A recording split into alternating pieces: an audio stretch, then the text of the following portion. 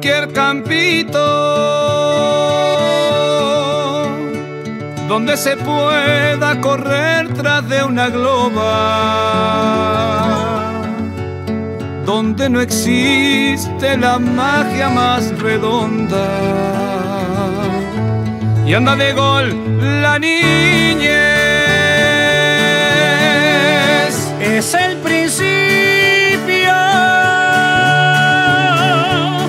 los que ponen el alma por el cuadro, de los que siembran la historia desde el barrio y son la historia después.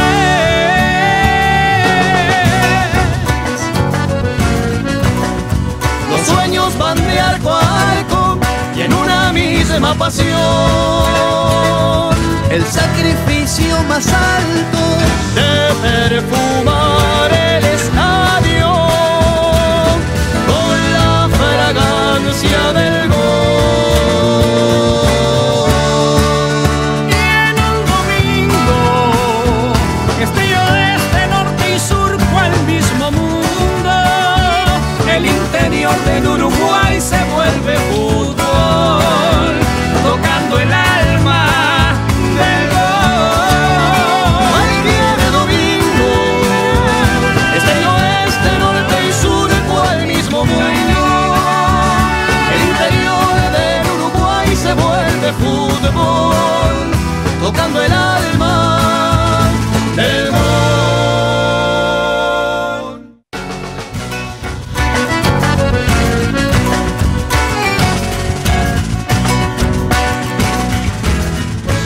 Hola, ¿qué tal? Muy buenas noches. El saludo grande para todos. El interior del Uruguay se hace fútbol. Arranca un nuevo programa de Pasión en vivo. Producción de Tenfield a través de la pantalla de BTV+, en esta jornada de martes. 60 minutos para repasar lo más trascendente del fin de semana, donde se jugaron las finales de ida en lo que tiene que ver con las diferentes regiones. Litoral norte, también en el sur y, por supuesto, en, el, en la región centro-este. Marcos Vitete, ¿cómo anda? Buenas noches. Pandense, ¿cómo va? Un abrazo para todos. Pregaron primero Salto de visitante, San José y Canelones del Este, de cara a las revanchas del próximo fin de semana. También partidos por el repechaje. Hubo actividad, ni que hablar en Sub-17. Lindos compactos para ver en un torneo que está apasionante. Los tres que ganaron las finales terminaron eh, dieron vuelta del partido, ¿no? Tanto eh, Salto arrancó perdiendo, como la selección de San José y Canelones del Este. Y lo que hemos dicho ya, cambió ahora la modalidad en esta instancia del campeonato, no importa la, la diferencia de goles,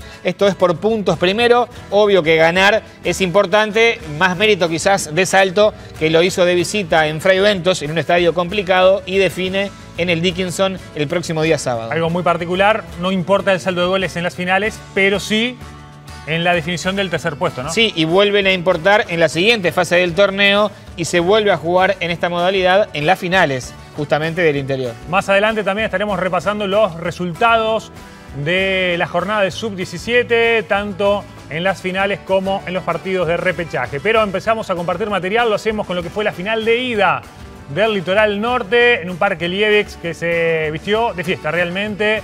La selección de Río Negro recibió asalto. Robert Ledesma de Paysandú, el encargado de impartir justicia. Un lindo partido jugado en Fray Ventos con un resultado bárbaro que saca a la selección de Novoa. Partido que por supuesto se vio en vivo a través de la pantalla de BTV. Lo primero esto, el remate de Rosano y la pelota que se desviaba en la barrera. Enseguida otra más para Río Negro que arrancó con todo el centro de Iglesias. Y el que se lo pierde es Sebastián Rosano nuevamente. Un partido caliente, vibrante, emotivo, adentro y en las tribunas. Como se esperaba fue. Todo arrancó bien para la selección dirigida por Cerrilla. Antes este intento de Dantas y el manotazo Salvador de San Renato para mandarlo al córner. Sí, siempre un jugador importante en el equipo. De hecho, la postre iba a convertir otra vez en el torneo una de las figuras del conjunto visitante. Los 15 del primer tiempo se va a dar esta jugada. Osores en el área, la falta de Rondán. Y Ledesma cobra penal para Río Negro. La vamos a repasar.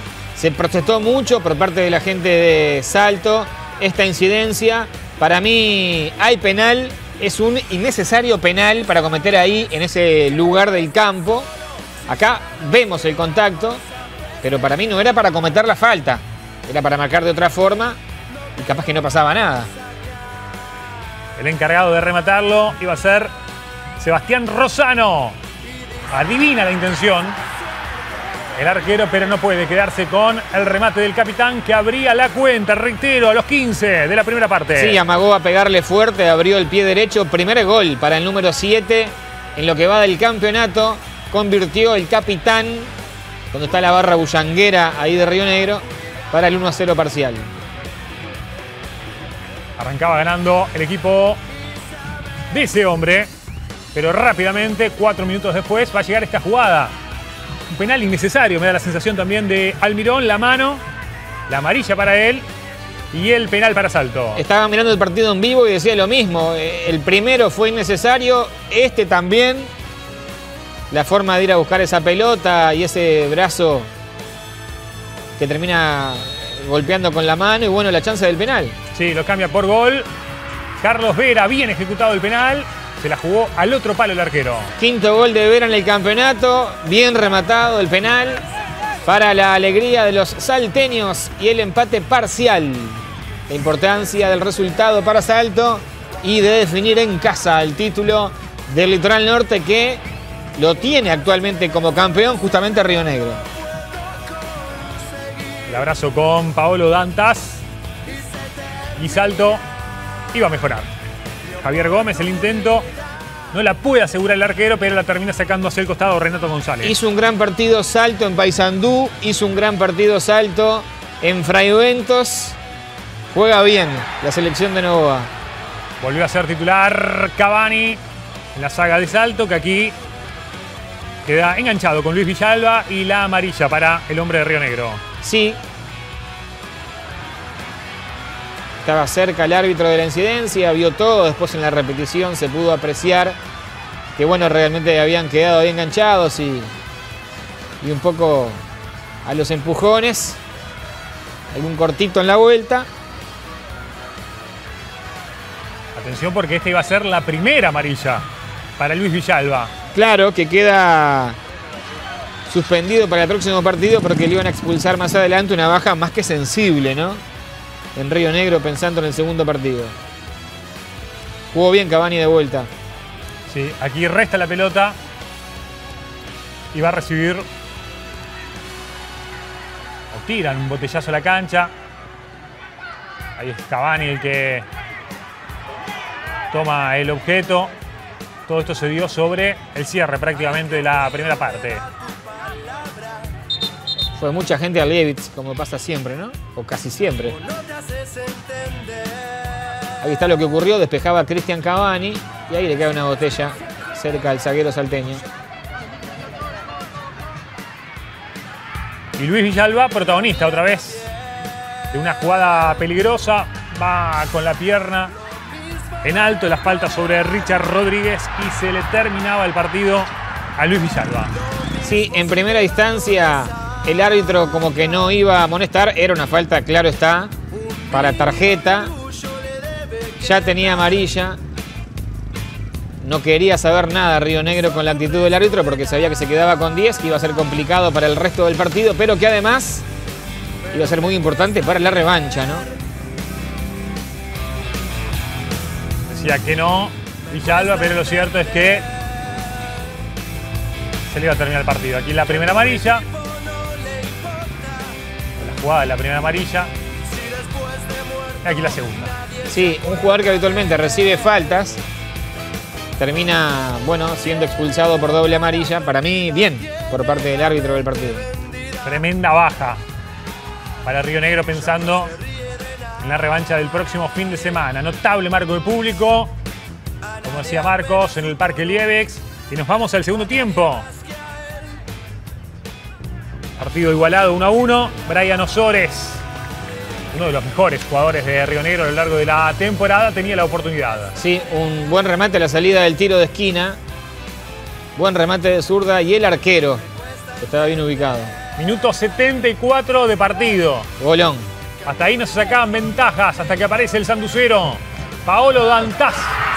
Nadie lo encima, nadie lo presiona. Y un remate bárbaro contra el palo para dar vuelta a la historia. Octavo gol de Dantas para Salto en el campeonato. Se puso a uno en el pintado. El goleador de Tacuarembó. Muy bien, Dantas. Qué remate que sacó, qué derechazo. Juega bien. Ahí está, buscando el perfil. La comba que agarró el balón, la que él quería. De adentro hacia afuera, digamos. Y contra el palo, golazo para el 2 a 1. Se estira Renato González, pero no puede quedarse con el remate de Dantas. Salto estaba arriba en el marcador por primera vez en la noche. E iba a liquidar el partido. A falta de nueve minutos para el cierre, el centro y el que define entre el zaguero y el arquero es Denis Ferreira para el 3 a 1. Sí, señor, el tanque Ferreira, su primer gol en el torneo. Arregló para jugar en Saladero a nivel local en esta temporada. Estaba nervioso Río Negro, impaciente, ansioso, no podía llegar al empate. Tenía espacios, salto y lo liquidó. Repetimos, no importan los goles, es por puntos, pero ya arranca el partido en salto el próximo sábado sabiendo que es campeón. Si gana Río Negro por cualquier eh, marcador, el partido se va a una largue. El saludo con los suplentes. Y el final del partido. Salto pegó primero. Ganó como visitante frente a Río Negro. 3 a 1 en Freiventos.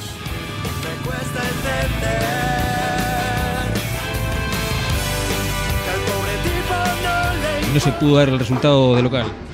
Sí, este, la verdad, bueno, una dura derrota que duele. No habíamos perdido así a lo largo de todo el campeonato, pero bueno, este, hay que tragar este trago amargo y bueno, como es por punto, estamos de igual a igual para ir a jugar a, buscar la revancha ya, ¿no? Vino el penal tuyo en el primer tiempo, pero no se pudo, no se pudo aguantar porque vino enseguida la reacción de Salto, también lo empata por penal y bueno, después ahí ya la expulsión del Goti creo que también se complicó todo, ¿no?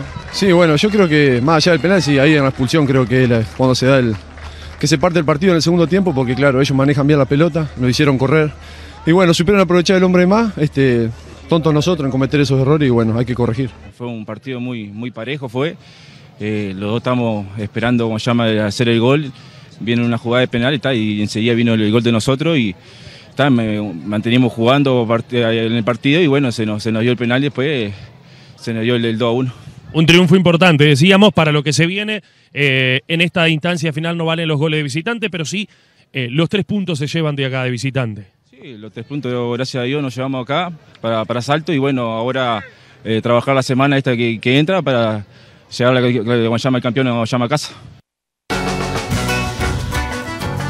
Salto Armando, me imagino yo, una gran fiesta para la revancha del próximo fin de semana. En mayores será el primer campeón del fin de semana porque el partido va el sábado 19.30 en el Dickinson, que seguramente estará repleto. Puede haber alargue, por eso el horario, digo que lo diferencia un poquito más del partido que va a segunda hora. Una alta muy importante en salto es la vuelta, está habilitado Titi Leguízamo, una de las figuras del equipo delantero. Conti Está habilitado el zaguero también luego de la suspensión y tiene un partido más de pena Roldán. Y lo que decíamos, la baja de Villalba en Río Negro y ya la habilitación de Olivera, el defensor del conjunto fragmentino. Seguimos con el litoral norte, pero para ver lo, para ver lo que pasó en el partido de repechaje, de ida entre Bella Unión y Paysandú. Se define el tercer puesto para clasificar a la definición de la Copa Nacional de Selecciones. El partido se jugó en el estadio Walter Martínez Cerruti, Bella Unión. Néstor Coelho de Rivera, el árbitro. Lo primero, esta chance de Paysandú. Nicolás Duarte. La pelota se va afuera. Paysandú que habíamos contado afrontó el encuentro con varias bajas. Ya lo vamos a reiterar más adelante de cara a la revancha. Por primera vez jugando, como decíamos, Bella Unión en el estadio de su ciudad. Buena jugada colectiva. La definición de Jorge Luis Vera. Hay una gran intervención de Ayrton de León. Se iba a romper el cero. El gol de Nicolás Duarte para la selección de Paysandú, para el actual campeón del interior. Tercer gol en el torneo para Duarte, una de las figuras del equipo. El saque de costado, nadie llegó a peinar. El rebote Y aparece Duarte para rematar abajo, nada que hacer para el arquero. Pasó entre unas cuantas piernas ese remate y el gol. Paysandú pegó primero y aparte sacó una buena diferencia pensando en la revancha. Atención porque iba a haber un penal para la selección sanducera, la mano de Álvaro de Moura. No duda, Coelho en cobrar la pena máxima. Otro saque de costado, de ahí surgió el primer gol, que el tema el de las manos, nos pasó en varios partidos y ha pasado en otros, reglamento nuevo, interpretación. Se movía muchísimo el arquero, pero no lo molestó a Brian Agüero que marcaba el 2 a 0. Y por segunda vez en lo personal en el campeonato. Digo esto de las manos, porque algunos árbitros cobran penal en una jugada así, otros no, y van generando como una duda ¿no? en cuanto a, a qué hay que hacer en ese tipo de jugadas. Gran jugada colectiva del equipo de Cabillón, la deja pasar Andrioli, se suelta Duarte y el gol de Oscar Trindades. Para el 3 a 0, todo esto en el primer tiempo. Cocote Trindades que aparece por primera vez en el torneo, el futbolista que arregló para jugar esta temporada, 18 de julio de porvenir. Estaba jugando Paysandú como sabe, llegando bastante fácil y liquidando prácticamente el partido en la primera parte. Sí. En esta definición sí importa el saldo de goles. Ya en la parte complementaria, Tito Andrioli, que volvió, que fue titular, lo celebró Cabillón. El enganche, el remate, la pelota picaba y se iba. Rossi desgarrado, Sabaño un partido más, habilitado Michelena en Paysandú. Siguen sin poder jugar Matiauda y Ángelo. Creo que no van a poder jugar más en el torneo. Esto es lo que piensan en Paysandú. No hay noticias sobre la vuelta de la habilitación de estos dos jugadores. El error en la salida de Brian Agüero. Giovanni Santana. Y de lo poco que generó Bella Unión. Lindo remate desde afuera, estaba precioso para probar. Santa Barata habilitado en Bella Unión de cara a la revancha. Y Vera a esta altura de la semana en duda por lesión. Pero creo que va a llegar. Zapirain la colocaba al medio. Y Ayrton de León termina despejando con la mano. Otra más para la selección local. El quedo defensivo de Paysandú. El remate de Jesús Barbosa y notable de León. Un anuncio del hombre de Santa Rosa porque iba a convertir el gol del descuento. Bella Unión quería meterse en partido, al menos achicar la diferencia pensando en la revancha. ¿no? Bien por el arquero. Vitete decía el tema de las manos. Atención con esta jugada. Pide penal Bella Unión, la mano de Anderson Cuelo, que el árbitro la ve, pero hace el gesto que le pega, ¿no? No, yo entiendo el reglamento, pe pe pegada al cuerpo, que abrió el radio, que la intención, que, que si viene de un rebote, que si viene... Eh, leí bien el reglamento muchas veces, los cambios que ha tenido, pero bueno. Y ahora otra vez, de Moura protagonista, eh, Cuelo protagonista, perdón, y ahora sí cobra penal el árbitro. Por eso te digo, el anterior no fue, esta fue. Pelota al área, se le habían reclamado un penal al árbitro en la anterior. Ahora marca penal acá, estaba algo lejos. Pero marca la pena máxima al árbitro del partido. El encargado de rematarlo fue Jesús Barbosa. Pelota a un lado, arquero al otro. Y descontaba Bella Unión. Cinco goles para Barbosa en el torneo. Ahí está la definición, bien pateado. Lo aseguró Barbosa.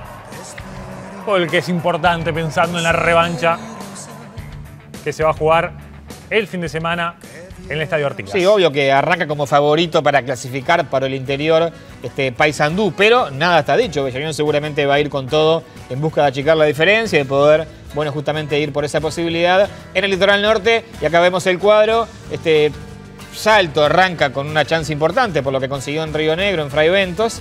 Este, el empate le da para ser campeón, pero la selección fraiventina juega muy bien también de visita, ha tenido buenos partidos, puede pasar cualquier cosa. Y lo otro es la repesca local este, Paysandú para jugar con Bella Unión.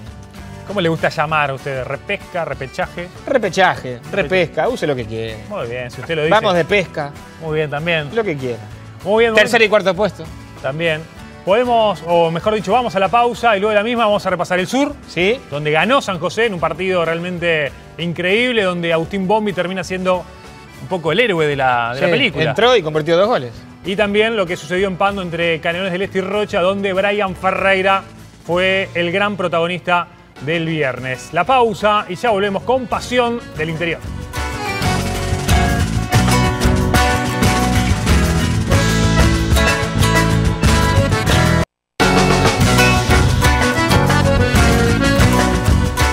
Volvemos a Pasión del Interior, estamos en vivo por BTV Más, producción de Tenfield. Saludo grande a todos los amigos que se comunican hoy y a lo largo de las transmisiones con el hashtag La Copa por TF. ¿Y la pelota? Y la pelota para el próximo martes, me Muy dice Pablo Naranja, nuestro productor, porque él la lleva a cada transmisión. Ah, la anda pasando por todo el Sí, país. la- se la muestra al público, a los que van al estadio. El otro día la llevó a Pando. Muy bien. ¿eh? En algún momento se fue del estadio, pero volvió rápidamente nuestro compañero mostrando la pelota. Perfecto, me parece notable. Vamos a repasar lo que sucedió en la final de ida del Campeonato del Sur. Se Estuvimos ahí, ¿Sí? no trabajando en la tribuna, alentando a la selección Maragata. Muy bien. En el Casto Martínez la guarda. Fernando Martínez de Florida fue el árbitro del partido y cayó el invicto de la selección azulgrana. Un primer tiempo donde Canelones salió bien a jugar el partido y donde San José no se encontraba en la cancha. Lo primero es esto, el gol en contra de Sergio Sufo. Remata Núñez y se desvía en Sufo, nadie la pudo sacar. Se enfrentó con otro rival, San José, de los que venía enfrentando en la segunda fase del campeonato. Silva que sale a cortar. El remate desde lejos, el rebote en Sergio Sufo. Cuando Silva quiere reaccionar, ya es tarde. Y el 1 a 0 a favor del equipo de Paolo Parolín. Buen marco de público.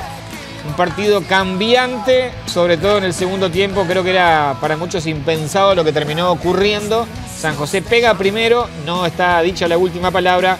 Todo se define en el Eduardo Martínez Monegal el próximo domingo. Otra más para Canelones, el remate de Facundo Camejo. Pasó cerca del arco Maragato. Le faltó a Brusone en la mitad del terreno. A Canelón es un jugador muy importante que llegaría para la revancha. Pierna zurda de Camejo. Y otra vez el tema de las manos en el área. Aquí se pide penal de Facundo Rodríguez. Sí, Facundo entró a los tres minutos de partido porque arrancó el encuentro y se lesionó en el tobillo el flaco Sebastián Rodríguez, zaguero. Acá está la incidencia. Habrá que ver si llega. Es un esguince grado 1, pensando en la revancha. Y rápidamente en el encuentro quemó una variante, Gustavo Cabrera. Hay varias jugadas parecidas Sí, en este partido. El centro de Juan Ignacio Guardado. Llega Agustín Díaz y tapa Pablo Turno. tímidamente comenzó a arrimarse San José en la primera parte, pero Canelones estaba mejor plantado en el campo de juego. El despeje al medio del fondo de San José le queda a Gonzalo Guti. Y otra vez Canelones llegando. Ahí está el despeje y esta pelota como venía que termina agarrando el número 8 que pasa cerca del palo derecho de Manuel Silva. La revancha de esta final va el próximo domingo en el Monegal. Minuto 41, se escapa Camejo y marca el gol para Canelones. Osto que está arriba en la tabla de goleadores. Camejo, octavo tanto para el futbolista de Darling. Pelota larga. Ahí no puede la última zona Maragata y no perdona de zurda. Camejo lo fusiló al arquero cuando tenía pase por el medio. Definió él. Y el 2 a 0 resultado hasta ahí importantísimo. Estaba sacando la selección canaria en tierras Maragatas. Sí, pero hay una incidencia que va a ser determinante, que va a ser clave en el partido y es el descuento rápido de San José, el centro del Chumbo Hernández y el capitán Nicolás Rebollo. Anotando, no es buena la reacción de Pablo Turno. Complicidad, sí, de Pablo, que es un gran arquero, lo ha demostrado y acá no puede contener la pelota, se le escapa. Anímicamente eso lo cambió a San José porque llegó al vestuario de otra forma. Una cosa era 0-2, otra cosa es 1-2. Y se notó en el segundo tiempo. Buen marco de público. En el estadio Castro Martínez La Guarda. De un lateral iban a hacer esta jugada. Sacó Hernández, Vico. Y la definición de Agustín Díaz. Jugada rápida, ¿no? Hernández, Vico, Díaz que se la lleva a derecha, le da de zurda y la pelota por arriba del travesaño. Es grande, duro en el arco. ¿eh? Sí. Pero el quedo defensivo igual era importante de la selección visitante. Sí, salió a jugar de otra forma San José, creció muchísimo desde lo anímico y aparecieron los jugadores con jerarquía del equipo. Otra vez Agustín Díaz y tras antes la despeja. Tomaban la manija del equipo Vico, Juan Ignacio Guardado y Díaz. Y está el pase al medio, tras antes que saca. Otra mano más en el área que se reclama, que se pide. Acá hablé con varios árbitros, me explican el reglamento, lo tengo claro. Algunos me dicen que era para cobrar, otros me dicen que no era para cobrar. Martínez no lo cobra, creo que la devolución fue a favor de su decisión. Digo la devolución que le dan al árbitro, ¿no? Lo cierto es que no cobró nunca. Diga que San José ganó este partido, si no esa jugada iba a ser tema toda la semana para nosotros allá en dos de punta con Matías González. Me imagino. Usted que nos escucha. Siempre por internet. El reclamo de los jugadores. Sí, ahí se picó un poquito. Sí. En un momento fue el viejo clásico del sur. San José Canelones, en otros tiempos. El arquero de San José cruzó toda la cancha para, para venir. Aquí está la polémica. Sí. Hmm. Es lo que siempre le estoy diciendo con esto de las manos. ¿no? Yo creo que era para cobrar penal, si cobraba no pasaba nada, pero bueno, no se cobró. Sí, además tiene la mano como levantada. Facundo Camejo. Minuto 63 de partido. Va a llegar el empate por intermedio de Juan Manuel Gómez. Luego del pase de Juan Ignacio Guardado. Llegaron los goles de Manolo, el sanducero en el torneo. Cuarto gol en el campeonato para Juan Manuel. Ahí está, fue a buscar la pelota por arriba, la aguantó muy bien, define no con potencia. Le pega casi que mordido a la pelota, pero no llega a Tour. Y se mete el balón en un empate a esa altura buenísimo para San José, que estaba 0-2. Sí, se estira Turn, que es largo, pero no puede con el remate de Manolo. Es que que haya salido mordida lo terminó de complicar a Tour. Estaba en cancha ya Agustín Bombi, que va a generar esta incidencia. Se pide penal de trasantes sobre Agustín. Bombi siempre que apareció generó algo. Esto, bajó pelotas, convirtió dos goles. Fue importantísimo el futbolista que seguirá jugando en central de San José esta temporada. Bombi postea, guardado el arco. Y San José crecía muchísimo en el partido. Sí, sí, sintió el impacto, Canelones, de la reacción Maragata. Acá está Nacho, probando de media distancia. Pasó la tarde con Matías Cantor, Nacho Guardado, y dice que Matías Cantor le trajo suerte. Sí, le enseñó algo Claro, seguramente. Matías le habrá dicho, pegale así. A falta de 10 minutos. El pase largo. El Chumbo Hernández. Y es notable cómo se filtra Bombi, cómo define en carrera para poner en ventaja a San José por primera vez en la noche. Claro, para luego hacer caer a todos los compañeros con su arma en los festejos. Pelota larga, va Bombi a lo que hace siempre, esa lucha, no puede la defensa y cómo pica en velocidad, es rápido en ese pique corto. Y la definición del 99 ante la salida de Tour, golazo, para dar vuelta al partido San José a esa altura de la noche. Sí. Tour como que gira el rostro, ¿no? Y, y- y- y deja ese hueco para la pelota. ¿Se rompió esa relación de amistad? No, sí. Turn, Bombi. Después de, no sé si ese gol o el otro, Bopi fue a darle un beso a Pablo, son muy amigos. Jugaron con Colonia el año pasado, la final del sur, la final del interior. Y ya en tiempo adicional lo iba a liquidar San José. El centro de Sufo. No puede la saga. No puede el arquero con Bombi, que pone el 4 a 2, el segundo de su cuenta personal. Ahí está Agustín Bombi otra vez para convertir un gol que se festejó. Y acá entiéndame porque voy bastante seguido al estadio. No se gritan mucho los goles de la selección, no hay como un bullicio en las tribunas. Lo que generó este triunfo y este equipo y este gol fue eso que veíamos recién. Que se pare mucha gente para gritar, cosa que no pasa siempre. Es más hincha de los clubes el hincha Maragato que de la selección, no tengo ninguna duda. Pero el ambiente que hubo, el clima, eh, le vino muy bien a los jugadores que lo agradecieron en las declaraciones. El final del partido, la victoria de San José frente a Canelones del Sur. Bombi determinante con los dos goles para darle la victoria a la selección Todavía no logramos nada, pero dimos un paso importante porque remontar una final así, un 2-0 abajo, la verdad que se veía difícil. Más uno estando afuera, pero bueno, el equipo supo manejar el partido y este grupo lo pudo sacar adelante. Bueno, la verdad que lo personal, entrar del banco y, y poder convertir el tercer y el cuarto tanto es un logro personal muy grande. Un partido de, mucho combate en lo que me tocó a mí. No pude demostrar quizás el juego que, que me gustaría, pero cuando hay que hacer lo otro, el trabajo sucio se tiene que hacer. Y en esa pelota increíble, Nacho me la, me la pincha espectacular y, y logro lograr el empate muy importante que me, que me levanta mucho lo anímico al equipo también. Y después entró Agustín por Pero, que le tocó salir, pero bueno, eh, consiguió los goles de la victoria. ¿Dónde radicó el cambio de San José? Vos que sos muy analítico dentro del juego, porque el primer tiempo la pasaron mal. Le comentaba a un colega que eh, la verdad que el entrenador dijo que había analizado mucho el juego de San José y se vio, el primer tiempo nos costó muchísimo, nos paró dos volantes externos que, nos complicaron lo que es la subida de nuestros laterales, había que preocuparse más de ellos que nosotros de ofender, nos faltó ofender y en el segundo tiempo hicimos un par de cambios tácticos y un poco también se vio un cambio rotundo de actitud, el, gol en el final nos favoreció muchísimo para eso y creo que fue en la actitud y después se fueron dando jugadas que, que fueron determinando la victoria para nosotros. un poco de sazón, porque teníamos, teníamos partido ganado, sumamente controlado. Encuentra el primer gol en una jugada fortuita, la verdad. No nos habían generado nada, el primer tiempo totalmente dominado. Pero está, eh, Juan San José tiene jugadores de jerarquía que terminamos pensando en algunos errores nuestros.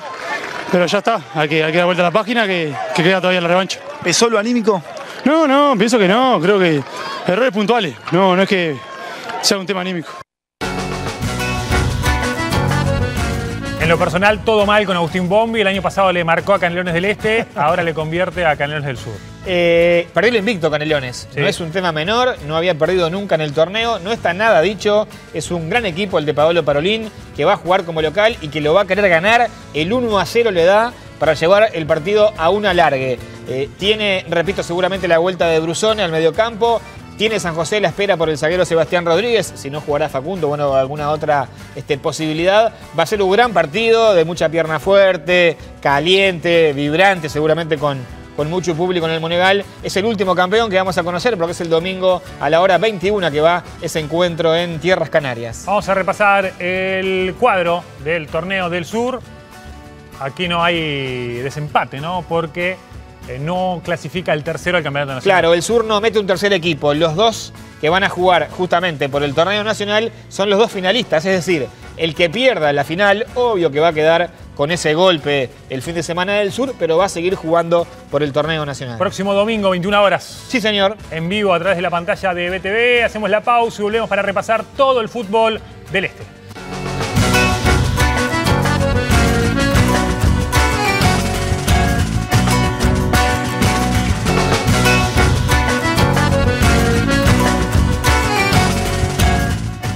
Bloque final de Pasión del Interior. Estamos en vivo por BTV+, producción de Tenfield. ¿Cómo venimos, BTT? Notable, y lo vi en el relato de la selección de Canelones del Este, y lo quiero saludar porque hace hoy un año exactamente que la selección este, logró el título del Este. Y como usted fue muy responsable porque estaba ahí con todo el marketing, nos vendió camisetas de la selección a todos nosotros, nos vendió números de rifa, no, bueno, no, no, no, nos enganchó por todos lados. ¿La pagó la camiseta usted? La pagué la camiseta. Entonces quiero decirle que me acuerdo que hace un año vino acá emocionado, festejando. Este título que se dio después de cuánto tiempo. 33 años pasaron. ¿Qué te parece? De la mano de Omar Hospitaleche como entrenador, un gran plantel, un gran cuerpo técnico. Bueno, hoy se cumple un año del título de. Vi fotos, eh, era el capitán, Viude, eh, los protagonistas eran, eran ustedes, ahí en la mitad de la cancha. Tejera, Torrecilla, eh, Sí, señor.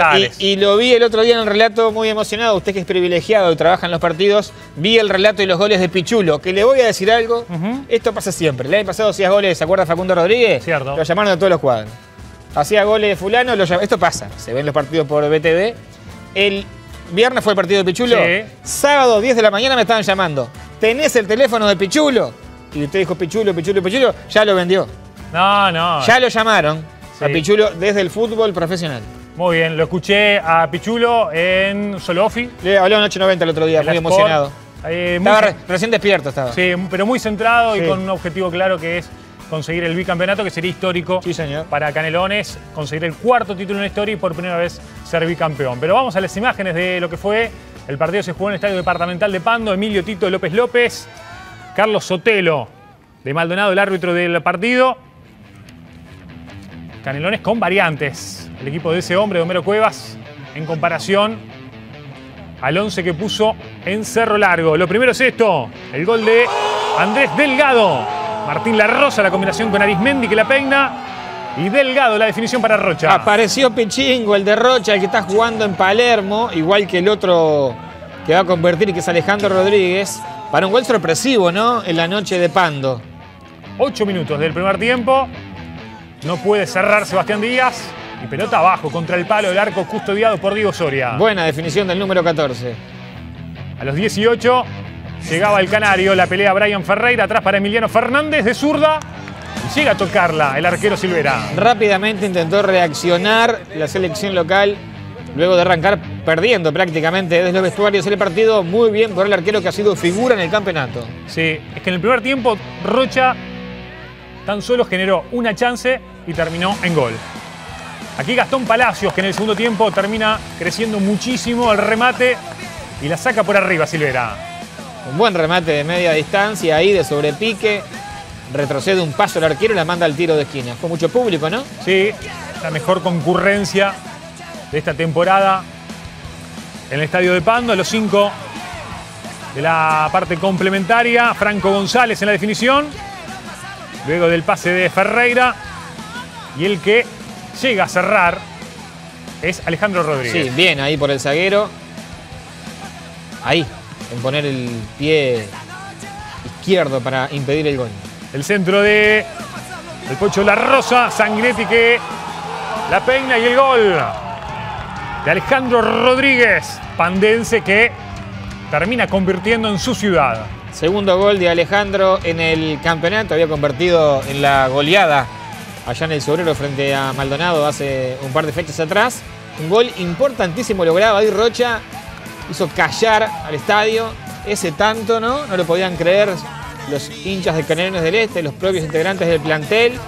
Estaba complicada la mano, pero sin embargo había mucho por delante en el partido todavía. Ahí está la reiteración, un cabezazo, otro cabezazo y adentro.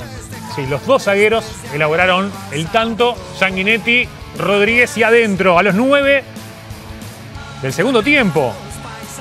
A los 13 va a llegar esta incidencia. La mano del defensa Gabriel Sosa hacia arriba y penal cobra Sotelo.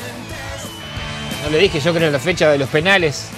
Y de las manos, y de, las polémicas. Por eso. Ahí está el remate, aquí está la mano, penal. Bien cobrado. Bien cobrado, la chance para el descuento. Pichulo Ferreira en la definición. Pelota a un lado, arquero al otro y Canelones descontaba. Pichulo que se llevó la pelota luego del partido me contó que no se le querían dar, pero dijo, no, me la llevo. Primera vez que hago tres goles en primera división, me la llevo para casa. Duermo con ella. Y durmió nomás. Y durmió nomás. El 10. Arquero para un lado, pelota para el otro. Y arrancaba la remontada de la selección de Canelones del Este. Gastón Palacios en acción. Linda pared con Franco González. Linda jugada. El pase para Brian Ferreira, picante arriba.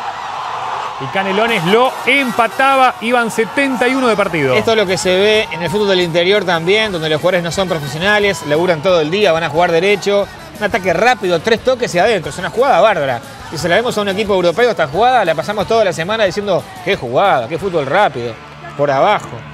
La cancha no es la del fútbol español, capaz que los jugadores no son profesionales este, como los del fútbol español. Sí, claro. Pero el gol fue un gol de la Premier, no sé. Que Rocha pidió un penal, una falta de Barbosa sobre Pereira, el árbitro. Entiende que el delantero simula y lo amonesta. Sí, estaba muy cerca el árbitro de la jugada, a un par de metros. Ahí está la incidencia. A ver, el enganche, lo cortan abajo o arriba, a la altura de la cintura casi. Mm, no sé, ¿eh? Yo estoy más para que sí que para que no. Ahí está Valtés, el técnico de Rocha. Y otra salida rápida del Canario. Recuperación, presión de Barbosa. Franco González a correr. Rapidísimo. Brian Ferreira y no falla. Ahí Ferreira la manda a guardar y ponía el 3 a 2. En tres toques lo empató y en tres toques lo ganó. Terribles contras de Canelones del Este demostrando que nunca se entregó en el partido y este hombre que fue el protagonista de la noche, 22 años para Pichulo Moñiz, que ya tenía un gol, Ferreira, perdón, que ya tenía un gol en el campeonato, llegó al cuarto en Sí. el torneo. Y que antes del partido recibió el reconocimiento de Jeffy de Fútbol Sí. Florida por haber anotado 26 goles en todo el año 2019. Claro, fue el tercer máximo goleador del interior en la temporada 2019, sumando selección y, y club. Sí, Gran presente del delantero. este plantel con muchas dificultades. La semana pasada, antes de este partido, tan solo había podido entrenar un día solo el equipo de Homero Cuevas. Mucho mérito por eso, ¿eh? Sí, Hay selecciones que practican cuatro veces en la semana o cinco. fue el caso de Rocha, el rival, en la oportunidad. Sanguinetti que llega Y la termina sacando el capitán Sebastián Díaz. Sí, señor. Era complicada esta. Rocha lo intentó. Reiteramos, más allá de los goles, cualquier resultado de victoria le da a Rocha la chance de llevar el partido a la larga. Aquí Diego Soria la saca. La definición de Arismendi. Y notable el arquero talense. Se desesperaba dando indicaciones Homero Cuevas. Y esto pudo haber sido el 4 a 2. El pase de Ferreira para Sellanes y se lo perdió el hombre que recién había ingresado. Sí, Sellanes creo que quiso meter un lujo más que un recurso y no le terminó saliendo. Era el 4 a 2. Repito que en el resultado final o, o- o- o haciendo un balance de, de lo que pudo haber pasado y no fue, no importa. 3 a 2 y 4 a 2 es lo mismo de cara a la revancha, pero me parece que no fue recurso, fue un lujo que quiso traer el delantero. Se le salieron golazo, ¿no? Pero no le salió. Sí, inclusive Ferreira mismo podía haber definido, pero no Sí. fue egoísta. El número 10, Rocha buscaba con todo. ¿Y esta qué fue? Sí, otra vez Sanguinetti. Y Wea Roldán, el hombre de vida nueva de San Bautista, sacó para cualquier lado. Era lo último, ganó Canelones. 3 a 2 frente a Rocha. Pichulo le pedía al árbitro que le mostrara el reloj. Victoria Auriverde en la ciudad de Pando. Partido complicadísimo, un rival muy duro. Este, vinieron, se nos pusieron arriba, nos complicaron la salida, que es lo que más eh, eh, sabemos hacer nosotros. Y bueno, este, con dos goles abajo, nosotros pusimos, nos fuimos al descanso. Este, hablamos una cosa para, para, bueno, revertir el resultado, tratar de conseguir un gol este, medio, medio enseguida. Y bueno, la- el- por suerte lo pudimos conseguir. Y, bueno, estos, estos tigres se mandaron un partidazo y, y la verdad que somos justo ganadores. Ha sido complicada la situación desde el arranque del campeonato. ¿Qué tiene esta selección? Y tiene ganas, tiene, tiene garra. Yo creo que, que la unión hace la fuerza. Este, yo creo que, siempre nos mantenimos unidos. Eh, eso es la base más o menos de, todo esto y de los resultados que venimos conteniendo. Este, y la verdad que nada, eh, con ganas de seguir, con ganas de levantar la copa. Este, más que nada por Omar, porque sé que, que de allá arriba nos está haciendo una fuerza y bueno, este triunfo va para él. Partido de final, una final, la verdad, la verdad que se nos había presentado mal, dos goles abajo de local.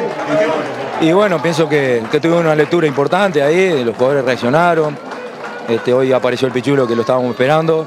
Pero la entrega, sobre todo, nunca darnos por vencido. Este, sabemos que no termina acá, pero dimos un paso importante y demostramos por qué estamos en una final.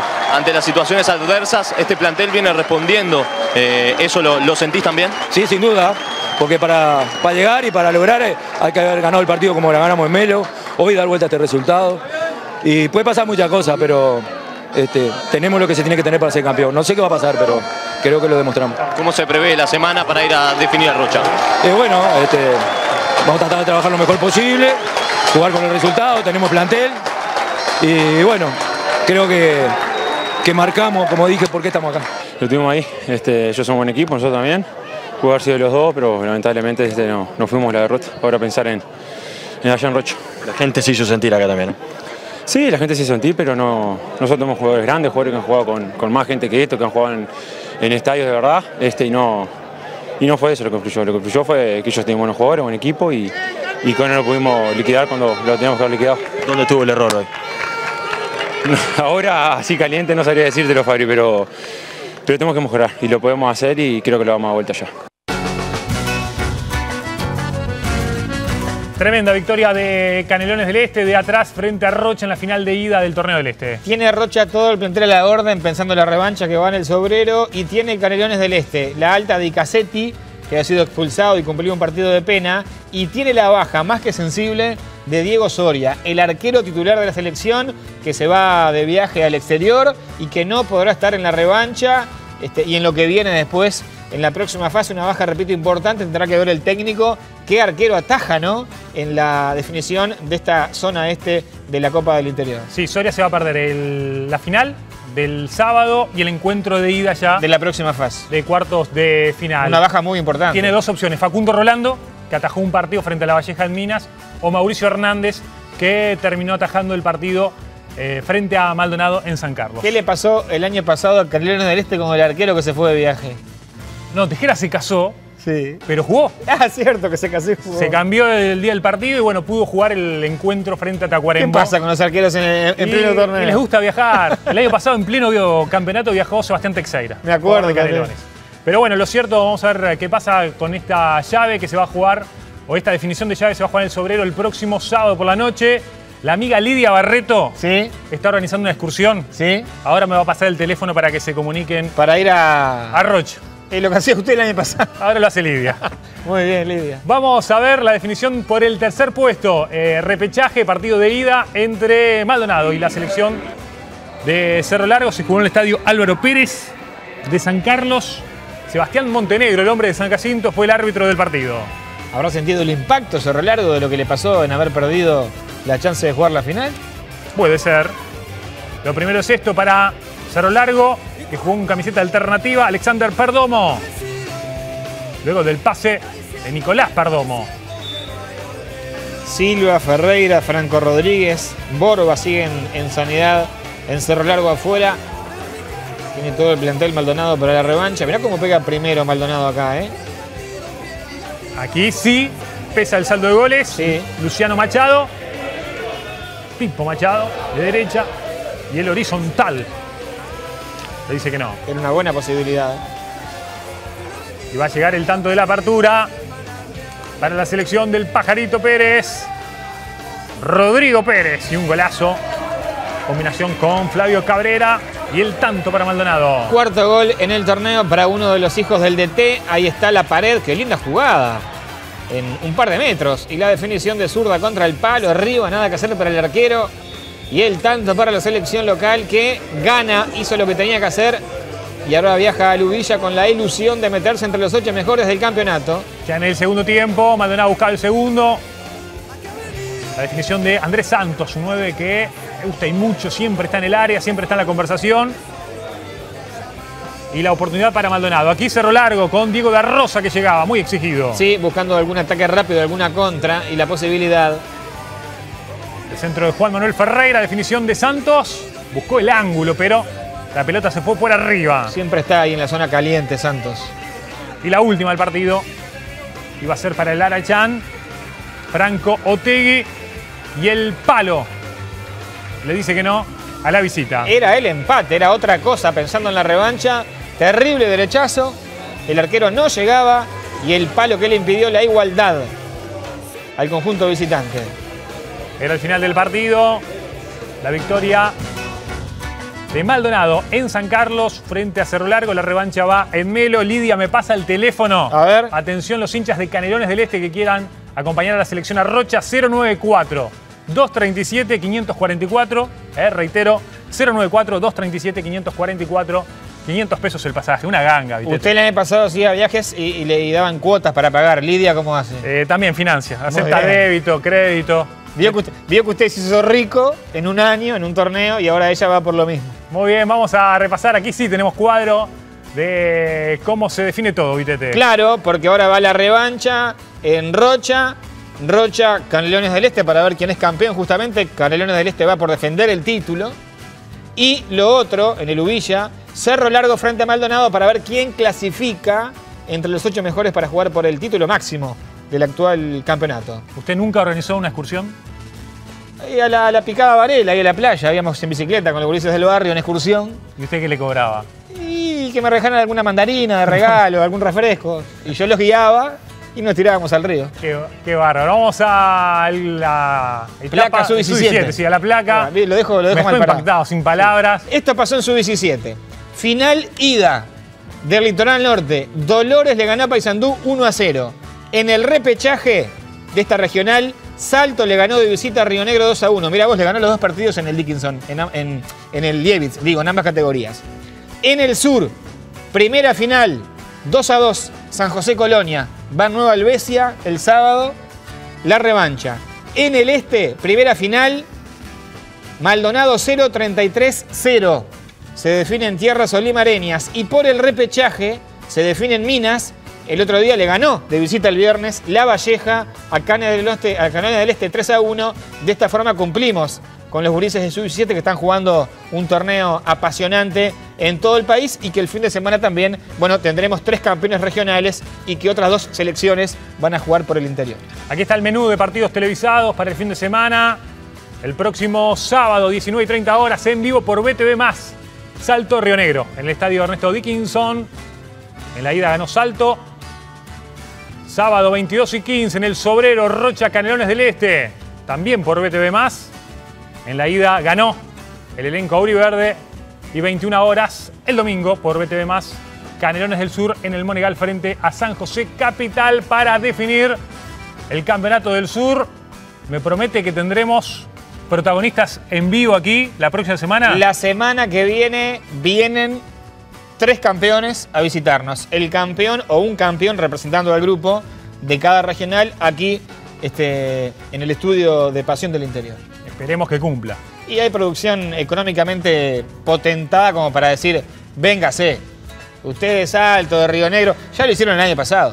Sí. Tuvimos todos los campeones acá. Sí, el año pasado pusimos la vara muy alta. Sí. Esperemos repetir en este año 2020. Está muy elegante, otra vez el estilista Le agradezco apareció. mucho. Sí, señor, eh, estoy mal, mal, mal- mal peinado, dice usted. Eh, una tinta tendría que aparecer en cualquier momento. Más o menos hace falta, ¿no? Sí, la verdad Viene que sí. Viviana, canosa. Nos, nos vamos, eh. el próximo fin de semana estamos con los televisados, con Pasión del Interior, volvemos en siete días.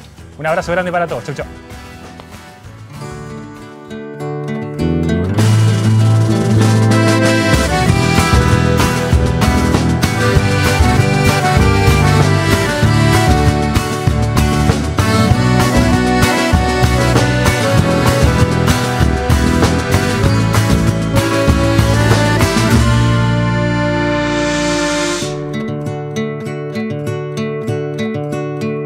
Cualquier campito donde se pueda correr tras de una globa,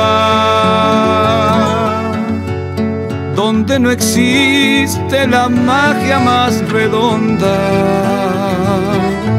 y anda de gol la niñez. Es el de los que ponen el alma por el cuadro, de los que siembran la historia desde el barrio. Y son la historia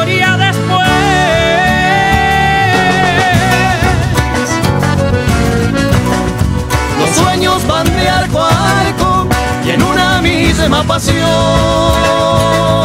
El sacrificio más alto de perfumar el estadio con la fragancia del